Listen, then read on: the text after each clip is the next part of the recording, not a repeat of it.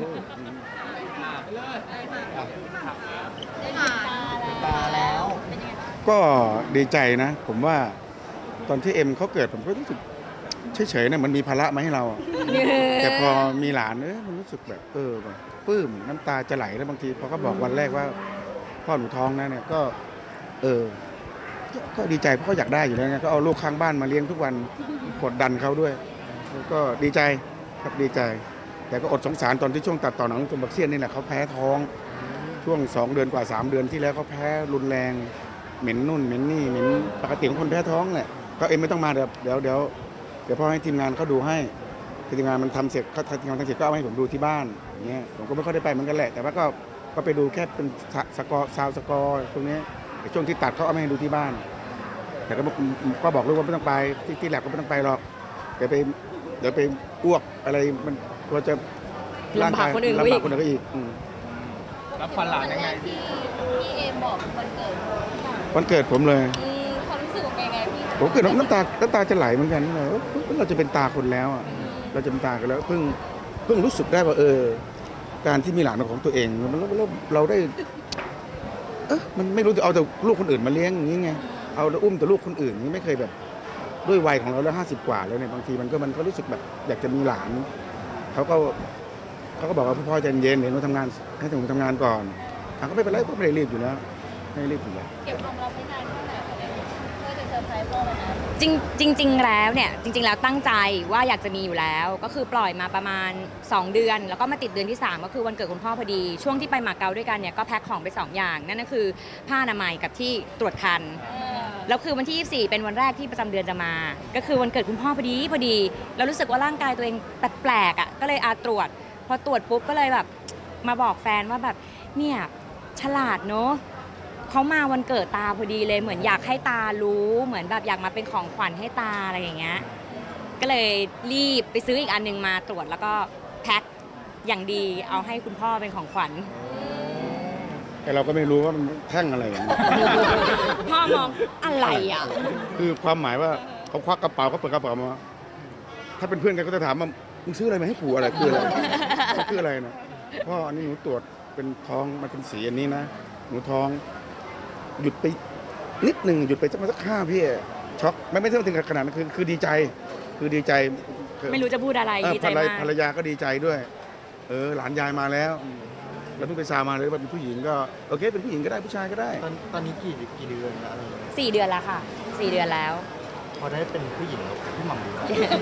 ผมก็ได้ลูกเป็นผู้หญิงนะบ้านผมก็บ้านผมก็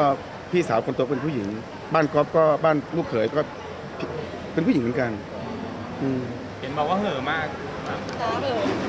ต้องต้องคลอดก่อนตอนนี้ยังตอนนี้ตอนนี้ก็ยัง ประมาณนึงแหละ เตรียมเตรียมแผนอะไรไว้ ก็ผมว่าเรื่องนี้แหละคงจะเขาคงจะมาอยากจะมาเกิดเรื่องนี้แหละครับกับแม่เขาแหละก็จะคงจะมาให้คุณ คุณให้คุณต้องลำบากอืม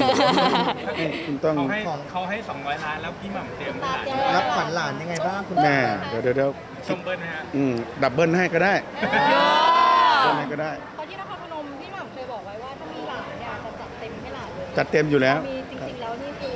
จัด double ให้เลยเอ่อนี่ super X ถ้าสมมุติหนังได้ 500 ล้านก็ยอมทุ่ม ก็พันล้านก็ก็คุยกันไม่รู้เรื่องแล้วทั้งบ้าแล้วบ้าทั้งภูมิกับบ้าทั้งนักแสดงแล้วจริงๆแล้วผมก็เล่นไม่เยอะหรอกเล่นแค่สองสามซีนเอง ส่วนใหญ่ก็มาคอยเป็นเขาเรียกอะไร acting coach เหรอใช่เออ acting มาบอก coach เรื่องภาษาแค่นั้นเอง จริง ๆ แล้วก็คุณโตโน่กับคุณไข่มุกนั่นแล้วอีกนักแสดงอีกส่วนหนึ่งผมก็มีแค่สองสามซีนเองแล้วก็มีคัดสั้นๆแค่นั้นเองสองสองสามสี่ซีนเองก็มาดูแลลูกก็แหละมาคอยให้กำลังใจลูก พี่เอ็มมีอยากได้อยากขออะไรคุณพ่อไหมครับเวลาด้วยพอแล้วลูกขอขอเหรอมีมีเคยคุยกับเขาตั้งแต่ยังไม่มีน้องด้วยซ้ำก็ขอให้คุณพ่อดูแลสุขภาพนี่แหละ เพราะว่าอยากให้เขาอยู่กับ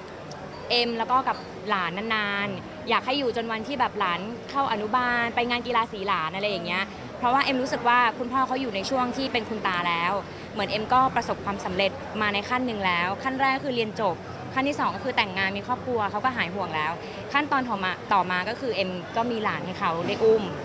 ก็อยากให้พ่อดูแลสุขภาพจ้ะได้แล้วจ้ะจ้ะอยากให้เบรกงานเลี้ยง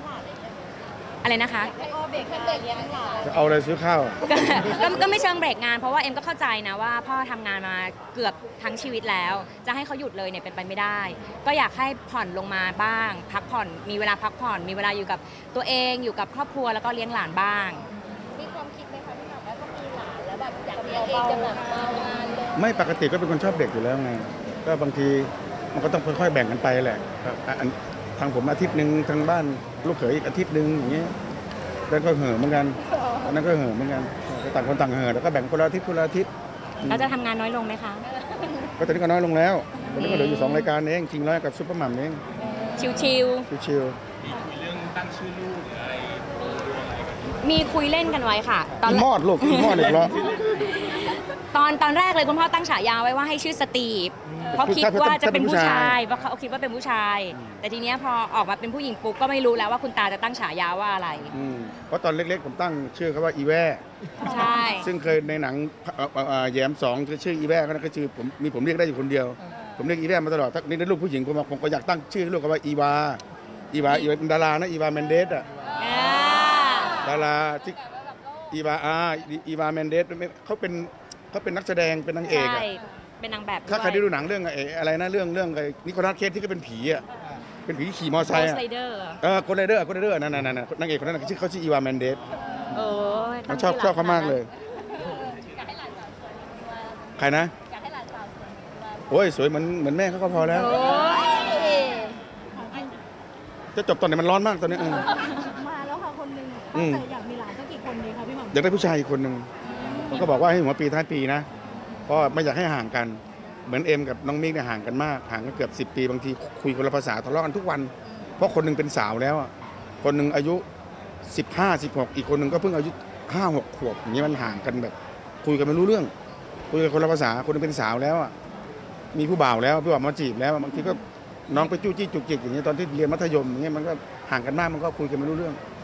จะตามใจคุณพ่อไหมครับ